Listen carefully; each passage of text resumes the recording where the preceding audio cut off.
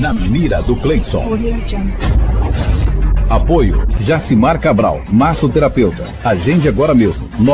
999448228. Tomate, locação e prestação de serviços. Locação de andaimes e bitorneiras. Fone 99645 1599.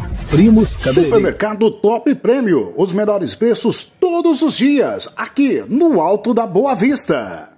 Quer construir gastando pouco? BGN, blocos e artefatos de concreto, em São José dos Quatro Marcos. Os melhores medicamentos naturais está na farmácia Viva Bem Produtos Naturais, em Mirassol do Oeste. Casa das Fraldas, qualidade e conforto que seu bebê merece, em Mi- Vamos trazendo novidade aí para a Rua 2, né? Conseguimos entrar em contato com o vereador Elton e com o prefeito é, Hector eles que estão em Brasília, na marcha dos prefeitos, vereadores, e uma das questões que foi levantada com eles hoje, e você vai ver agora, sobre a Rua 2.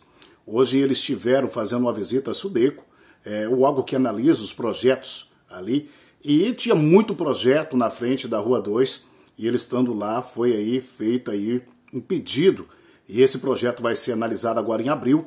Se tiver tudo certo, tudo corretamente pela engenharia, tudo será licitado também.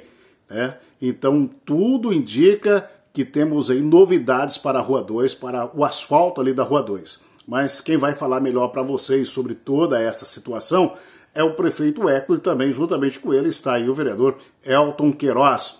Fala pra gente, prefeito e Elton, como foi essa visita na Sudeco, falando aí da pavimentação asfáltica ali da Rua 2. Olá, meus queridos amigos de Mirassol, nós estamos aqui em Brasília, na Sudeco, juntamente com o vereador Elton.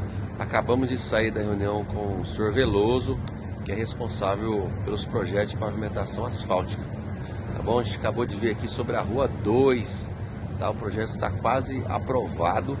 Estamos aí ansiosos para que a partir de semana que vem já tenha uma aprovação, tá bom?